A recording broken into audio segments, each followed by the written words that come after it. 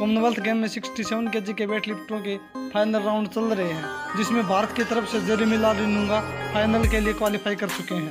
Jeremy लालिनुंगा ने अभी तक अपना बेस्ट 140 केजी वेट उठाया था। अभी इस अटैम्प्ट में जेरेमी लालिनुंगा 160 केजी वेट के लिए आए हैं।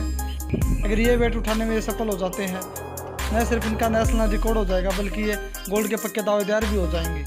जेरेमी लालिनुंगा ने देखिए 160 केजी वेट उठा दिया है और भारत की पदक तालिका में एक और गोल्ड जुट गया है। क्योंकि जो जेरमी लालिनुंगा का टोटल अटैम्प है, वो 300 केजी हो चुका है। जो सेकंड नंबर के प्लेयर है, उनसे सात के जी ज़्यादा है। और ये भारत की तरफ़ से जेरमी लालिनुंगा ने गोल्ड हासिल करते हुए इतिहास रच दिया है।